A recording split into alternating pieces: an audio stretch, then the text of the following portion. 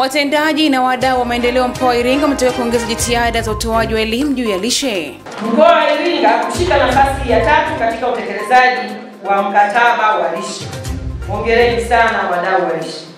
Mama Ng'ong'o, mwanamke vinara na wanawake vinara wote wa mkoa wa Iringa, na washukuru na wadau wote kwa kazi ya uhamasishaji na uelimishaji.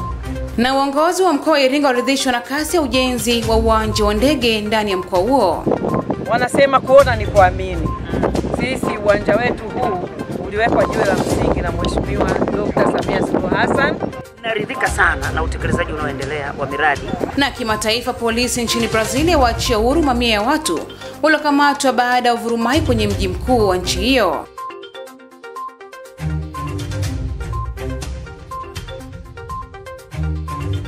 Na maelfu ya watu waamriwa kuondoka California kuepuka madhara ya vimbunga na mafuriko.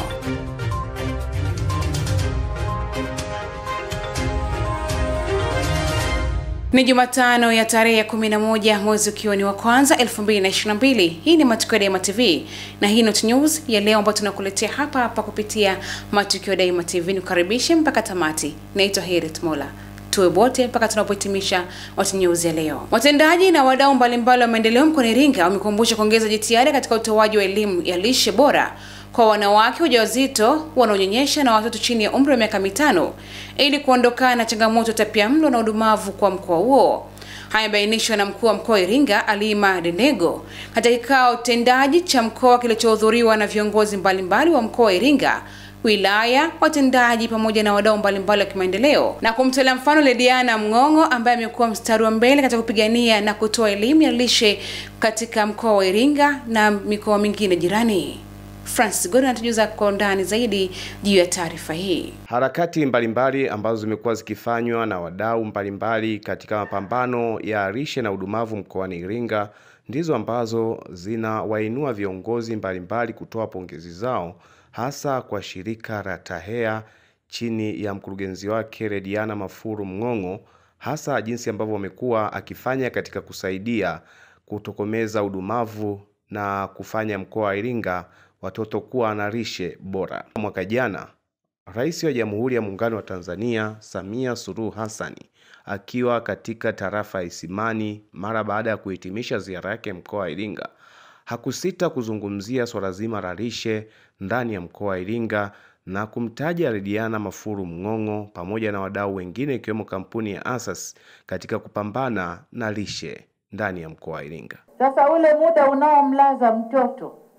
anakosa milo miwili katikati. Mtoto anatakiwa awe na milo mitano kwa siku. Sasa unampa uji asubuhi, unamlaza, unakwenda shamba unarudi shamba saa nane. Hapo katikati amesha kosa milo mingapi? Miwili. Lakini pengine umeacha uji jikoni, umemwambia dadake wa miaka saba, akiamka mwenzio mpe uji, lakini ule uji wanakunywa wote, kwa sababu yule wa miaka saba naye anataka kula vile vile, muda umepita. Kwa hiyo mwingi anakunywa yeye, anamwacha mdogo wake na mlo kidogo.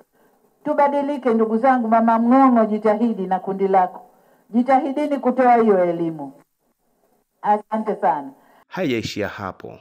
Jitihada hizi za Rediana Mng'ong'o katika mapambano ya lishe zinaendelea kuungwa mkono na wadau mbalimbali, na mara zote mkuu wa mkoa wa Iringa Halima Dendego akiwa katika mikutano yake, akiwa katika mazungumzo mbalimbali, amekuwa mwachi Rediana Mng'ong'o kumzungumzia kama ni mpambanaji wa rishe mkoani Iringa.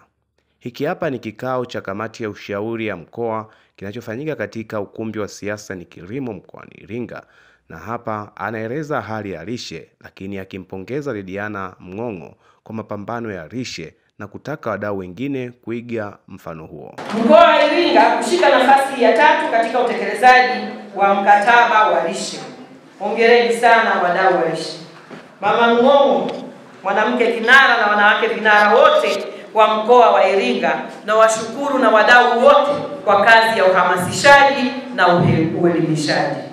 Suala la lishe ndani ya mkoa wa Iringa limekuwa ni suala mtambuka pamoja na kuwa mkoa wa Iringa una, ni miongoni mwa mikoa inayofanya vizuri katika uzalishaji wa mazao ya chakula, lakini lishe imekuwa ni tatizo kubwa kwa kuwa na tatizo la udumavu katika mkoa wa Iringa. Swala la lishe pia katika mkoa wa Iringa ni kipaumbele chetu ili kwa pamoja tuweze kutokomeza kiwango kikubwa cha udumavu na utapiamlo. Hivyo ni muda umefika tujadili kwa uwazi na hasa kuibua visababishi vya hali hiyo, wakati vyakula vyote vya kulinda na kujenga mwili vinapatikana mkoani kwetu kwa wingi. Katika utekelezaji wa mkataba wa lishe, mkoa umeweza kuibuka mshindi wa tatu kitaifa na kupata tuzo. Hii ni hatua nzuri na kubwa, lakini bado tunapaswa kushirikiana na kuongeza juhudi ili kutokomeza kabisa udumavu na utapia mlo ndani ya mkoa wetu. Kikao cha RCC ambacho kimefanyika mapema leo, pamoja na mambo mengine, pia ameeleza hali ya kipato cha mkazi wa mkoa wa Iringa. Kwa mujibu za takwimu za maendeleo za Ofisi ya Taifa ya Takwimu NBS zilizotolewa mwaka 2021, pato la mwananchi wa mkoa wa Iringa limefikia wastani wa shilingi milioni 4.08 kutoka shilingi milioni 3.527 mwaka 2015. Matokeo haya yamefanya mkoa wa Iringa kushika nafasi ya pili kitaifa. Francis Godwin, Matukio Daima, Iringa. Kutokana na mawakala waliotakiwa kusambaza pembejeo za ruzuku kwa wakulima mkoani Iringa kufanya kazi yao kusuasua, halmashauri ya Iringa imelazimika kutumia trekta lake la kusomba takataka kusambaza mbolea ya kupandia kwa wakulima ambao wanastahili kunufaika na pembejeo za ruzuku katika msimu wa kilimo. Haya imebainishwa na mbunge wa jimbo la Iringa mjini Jessica Msabata Vangu katika kikao cha ushauri cha mkoa huo na kuongeza kuwa uamuzi huo ulifikiwa mara baada ya kuonekana kwa baadhi ya mawakala kuachana kabisa na usambazaji kutokana na kulalamikia faida ndogo wanaoipata kutokana na usambazaji wa mbolea hizo. Maelekezo ambayo alitupatia siku ile baada ya kwa tumejadili swala la la la la, la namna ya upatikanaji wa mbolea. Na nashukuru kwa mkoa umeenda mwenyewe umeona kwamba taarifa zilizoletwa hazikuwa sahihi kwamba upatikanaji wa mbolea huko kwa kiwango kile na umesema hapa ni ni asilimia ishirini na sita tu. Lakini afisa kilimo wangu ananiambia tuna trekta sisi la kusomba takataka manispaa. Tumejaza mafuta sasa limeanza kusambaza mbolea.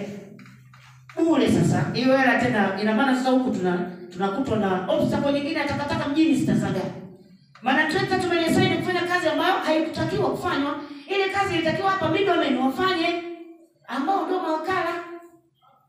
Na mawakala wana changamoto zao na serikali.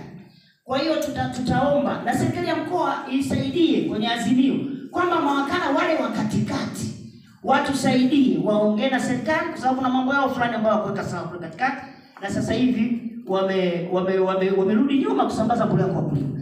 Lakini kingine ni profit margin. Ukiangalia mkuu wa mkoa umeletewa ile bei ya mbolea anayouza amo, unakuta profit margin, yani kile eh, faida anayopata mtu kutoka pale kwenye godoro la mo akiuza ni shilingi elfu tatu mia tano elfu mbili mia tano anaifikishaje hii mbolea kilodo?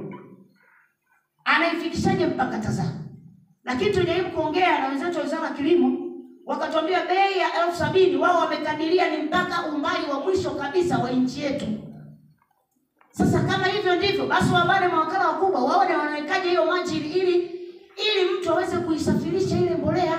Sisi tutachaje tuanze kuchukua magari ya serikali, magari ya jeshi, ya magereza, eh, magari ya nani yaanze kupeleka mbolea kwa wakulima wakati ni business watu wanaweza kufanya wenyewe. Mkuu wa wilaya Simanjiro mkoani Manyara Dr. Suleiman Serera amewaagiza wazazi na walezi wa wilaya hiyo kuwapeleka watoto wao shuleni hata kama bado hajakamilisha sare za shule.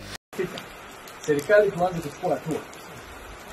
Mzazi ambaye ana changamoto ya mtoto wake kuja shule atoe taarifa kwenye kijiji, atoe taarifa kwenye kitongoji, ili serikali ihusike kwenye changamoto yake hiyo ambayo anayo, tuone sisi tutafanya namna gani. Kama hana sijui mambo ya sare, tulishasema wanafunzi wote wapokelewe, hata kama hakuna nini, ana sare. Umeelewa vizuri? Na kijiji nihusike Dr. Sereira amesema hayo wakati akizungumza na wananchi wa wilaya hiyo na kuongeza kuwa wazazi ambao wanakabiliwa na changamoto ambazo zinapelekea wanafunzi kuchelewa kuripoti shuleni ama kwa wakati, watoe taarifa kwa uongozi wa wilaya hiyo ili kuangalia jinsi gani ya kuweza kutatua changamoto hizo kwa pamoja. Kama mtu si uwezo madaktari sina, hamwezi kushindwa nyinyi. Hayo mambo yote lazima yafanyike hapa shule. tunaandaa kuanzia wiki ya kwanza, ili baadaye lawama tunazoziona kwenye makundi ya WhatsApp, wanafunzi wanafanya vibaya. Wanafanya vibaya kwa sababu gani? Sababu mojawapo ni kwamba mtaala, ile silabasi iliyotakiwa kufundishwa haikamiliki.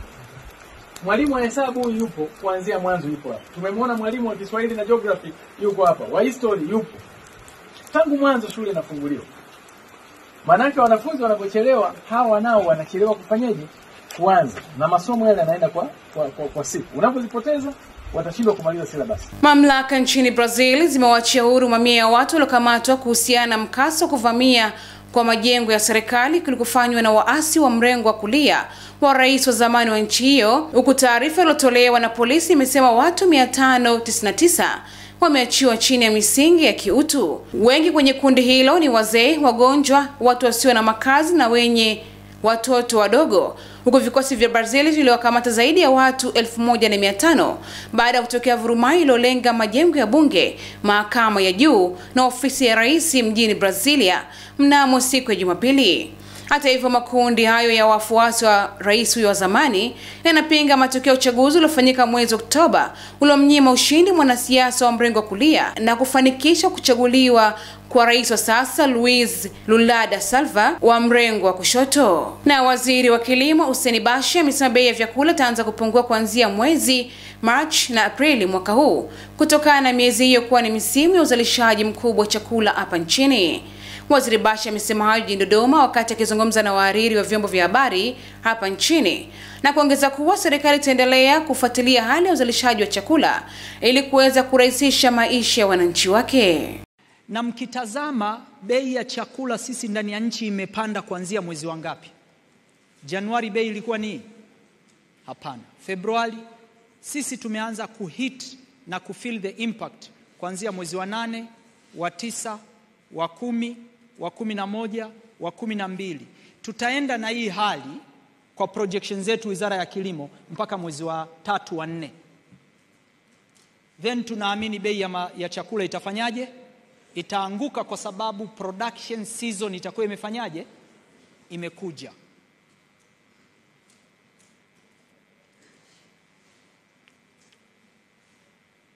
Sasa tunaposema kwamba we need a strategy, yes, as a country we have a strategy ya kureduce, kwa sababu tunapozungumzia food security ina component zifuatazo: usalama wa chakula. Nchi ina njaa? Jibu ni hapana. Tunaposema njaa, maana yake hakuna chakula masokoni. Sisi kama nchi hatuna tatizo la njaa. Food security ina swala la availability. Hii ni component ya kwanza. Mtaalamu wa food security yuko pale. Component ya pili ni swala la affordability. Sawa jamani? Component ya tatu ni swala la nutrition. Ya? Nini? Eh, you, yes, nutrition kwanza. Si ndio? Halafu utilization. Sasa sasa hivi tunakabiliwa na nini? Is the problem of availability there? The answer is no. Chakula kipo. What is the issue? Ni issue ya affordability. Sasa serikali inachukua hatua gani kwenye affordability? Tunafungulia Food Reserve Agency. Tunafungulia Food Reserve Agency, tunapeleka chakula kwenye maeneo mbalimbali ya nchi yetu. Wakati mahindi yamefika 1200 sisi tunapeleka tunauza shilingi mia saba ili wananchi wanunue mahindi wenyewe, waende wakasage, wapate nini? Chakula. Ndiyo role ya National Food Reserve Agency. Role ya National Food Reserve Agency is to stabilize both sides. Bodi ya barabara mkoa wa Iringa TANROADS ikiongozwa na mkuu wa mkoa wa Iringa Alima Denego ikishirikiana na wakuu wa wilaya pamoja na wabunge mbalimbali wamekagua ujenzi wa uwanja wa ndege wa mkoa huo ambao unatarajiwa kukamilika mwezi Agosti mwaka huu na kuridhishwa na kasi ya ujenzi huo mpaka sasa. Akizungumza mara baada ya ukaguzi huo, RC Dendego ameupongeza uongozi wa TANROADS mkoa wa Iringa pamoja na kandarasi unaendelea na ujenzi huo kwa kuonyesha jitihada katika kukamilisha ujenzi wa uwanja huo kwa wakati, huku akisisitiza uadilifu kwa vijana ambao wamepata kazi katika ujenzi huo ili kuweza kuaminiwa na kuendelea kupata kazi kama hizo katika maeneo mengine mbalimbali ndani ya mkoa wa Iringa. Wanasema kuona ni kuamini. Sisi uwanja wetu huu uliwekwa jiwe la msingi na Mheshimiwa Dr. Samia Suluhu Hassan, Rais wa Jamhuri ya Muungano wa Tanzania mwezi wa nane mwaka 2022. Watendaji kwa maana injinia na timu yake na mkandarasi walimwahidi Mheshimiwa Rais mwaka wa 2023 mwezi Agosti kiwanja hiki kitazinduliwa, na kwa itifaki anayepaswa kufungua au kuzindua ni Mheshimiwa Rais. Sisi kama viongozi leo tumekuja hapa kuona yale walioahidi wanatekeleza. Naamini wote tunaona kwa macho, kazi inaenda kwa kasi kubwa, na mmetuhakikishia kabisa Agosti mwaka huu hapa ndege ya kwanza kubwa itatua, ukiacha hizi ndogo zinazotua sasa. Kwa hiyo sisi tunawaambia watendaji, ongereni sana, kandarasi ongera sana, lakini tunaomba wasibweteke, waendelee na kasi hiyo hiyo. Sisi ikifika mwezi wa sita tutakuja tena, ikifika mwezi wa saba saba tutakuja tena, ili tumwandae Mheshimiwa Rais aje azindue uwanja yeah, huu. Kwa upande wa wabunge ambao walishiriki katika ukaguzi huo, Jessica Msambatavangu kutoka jimbo la Iringa mjini, Justin Nyamoga jimbo la Kilolo na mbunge wa Mafinga mjini Kosato Chumi kwa pamoja wamesema kukamilika kwa ujenzi huo kutakwenda kufungua kasi ya ukuaji wa uchumi kwa wananchi wa mkoa wa Iringa kutokana na kipato kutoka kwa wageni mbalimbali wakiwemo watalii pamoja na wafanyabiashara. Naridhika sana na utekelezaji unaoendelea wa miradi, lakini tunapokuwa kwenye vikao lazima tuendelee kuhimizana kuhakikisha kwamba tunakwenda. Unajua, uh, target yetu kubwa ni kuinua utalii kusini, uh, tunaita Southern Circuit Tourism, na inaunganisha mikoa yote ya nyanda za juu kusini, na ndio mbuga kubwa kuliko zote, lakini tuna malengo ya pato la taifa ku, kuongezwa kupitia utalii, lakini pia tuna malengo kuongeza watalii kwenye nchi kupitia utalii. Kwa hiyo hii itakuwa ni, chanzo kikubwa sana cha watalii kufika na kukuza uchumi wa nchi yetu. Lakini pia mimi kwa mfano natoka Kilolo, utalii utakapokuwa, sisi kule tunalima mazao mbalimbali, mboga mboga na nini. Maana yake ni kwamba wakulima nao watanufaika kwa sababu mji utakuwa, watu wataongezeka na masoko kwa ajili ya mazao mbalimbali yataongezeka. Kwa kila mtu wa mkoa wa Iringa atanufaika, kwa sababu unajua, kwanza kunakuwa na upotoshaji mtu anamwambia mtu wa Bumilainga, anambia wewe ndege utapanda lini? Lakini itoshe kusema kwamba unapokamilika uwanja wa ndege ni fursa. Kwa mfano sisi watu wa Mafinga tunauza mbao, tunauza mirunda, tunauza nguzo. Maana yake ni kwamba ndege zitakapoleta watalii, kutakuwa na uhitaji wa mabanda kule Ruaha National Park. Kwa wananchi wetu watauza mbao, watauza nguzo, watauza mirunda, lakini wako wale wanaolima kule Mtula, wako wanaolima kielewasi, mboga mboga, na ili sasa hivi swala la parachichi wote watapata soko. Kwa hiyo ni mambo mimi huwa naita kuconnect, kwamba tutakapokuwa na uwanja tuna connect na mbuga za wanyama Ruaha, lakini pia tuna connect na uchumi wa watu wetu wa Mafinga, Mufindi na Iringa kwa ujumla. Imeelezwa kuwa kupanda kwa bei ya bidhaa mbalimbali ikiwemo chakula na mafuta ndiyo sababu iliyopelekea kupaa kwa gharama za ada katika uendeshaji wa shule binafsi hapa nchini. Haya na Joakim Mapunda, mwalimu mkuu wa shule ya awali na msingi ya Legas iliyopo katika manispaa Iringa, wakati akiwa katika kipindi cha mjadala magazetini kinachorushwa na Matukio Daima TV, na kuongeza kuwa ili kuendana na kasi ya upandaji wa maisha, shule binafsi zimeongeza ada hizo ili kuweza kutoa huduma inayostahili na ambazo zimezoeleka kwa wanafunzi pamoja na wazazi wa shule hizo.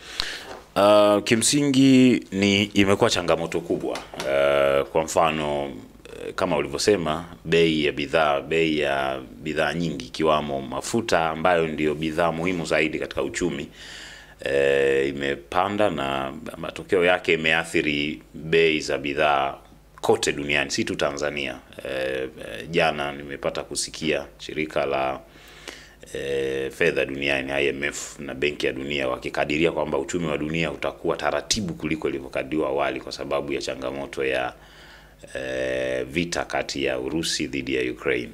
Na hii haijaathiri tu bara la Ulaya, imeathiri pia Tanzania, na kama ambavyo unasema bei ya mchele miezi kumi na mbili iliyopita na leo ni tofauti. Bei ya vyakula vingine, maharagwe, alkadhalika mafuta kama tulivyosema. Sasa katika kukabili hizi changamoto tumejaribu sana. Kwa mfano mwaka jana sisi kama Legacy Academy mwaka jana tumepitia wakati mgumu sana kuendesha shule.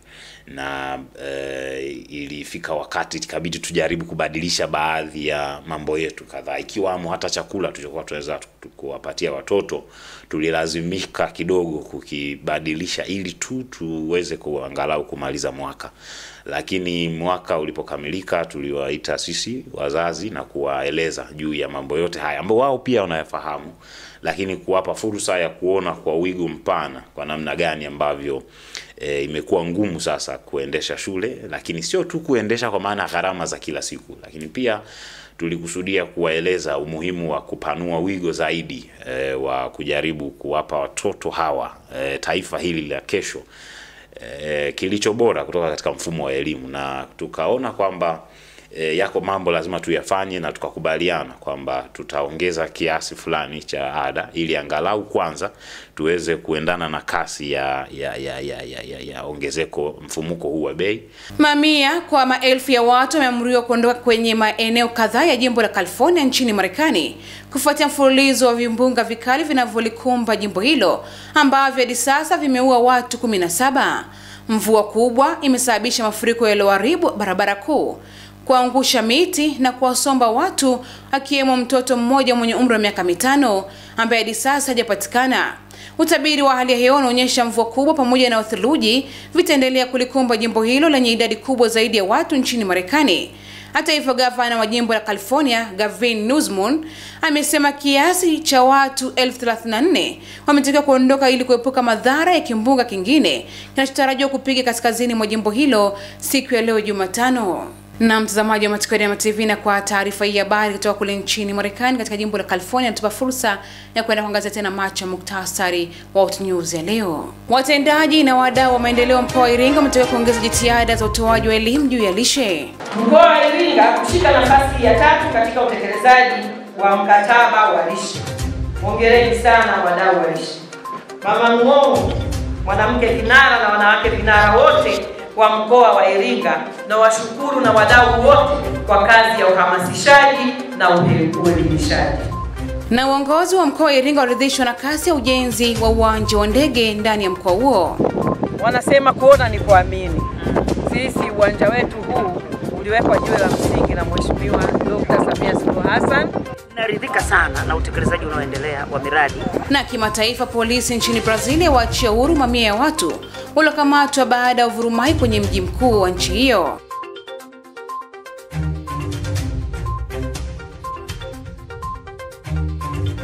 Na maelfu ya watu waamriwa kuondoka California kuepuka madhara ya vimbunga na mafuriko.